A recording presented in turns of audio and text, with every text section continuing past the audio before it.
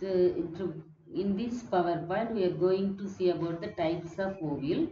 In previous PowerPoint, we have seen the structure of ovule. Now types of ovule.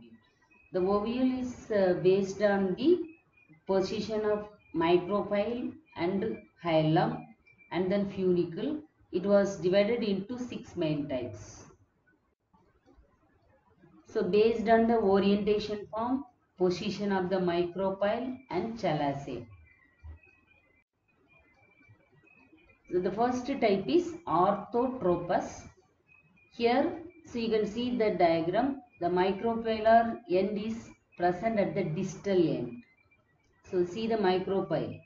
So top of the diagram, you can see you can see the micropyle end, and chalaza is present, and they are in the they are arranged in one straight vertical line. Chalaza at the back. So micropyle is present at the front. So it is it was connected by a direct vertical line. This type is called orthotropous. Example Piperaceae. Anatropous, The body of the ovule is uh, inverted.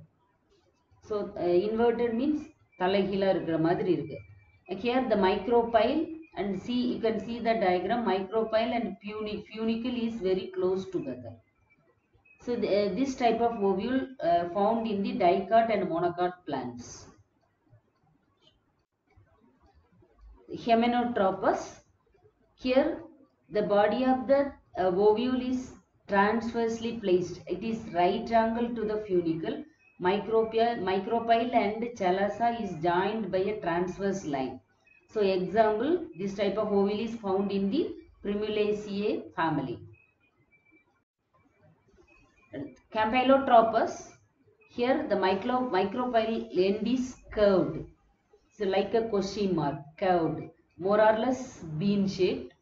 So uh, the embryo sac also like slightly curved. So hilum, micropyle, chalaza, they are adjacent with one another. So example leguminaceae family. So கடலச்செடின்னு இல்லையா pulses variety எல்லாம் the campylotropous ovule. Amphitropous. So here the distance between the hilum and the chalaza is very very less. They are closely present together the micropyle and chalaza. So slight curvature of uh, ovule leads to the heart's shoe shaped nucellus. So it is looks like a heart's shoe. So that is called amphitropous ovule.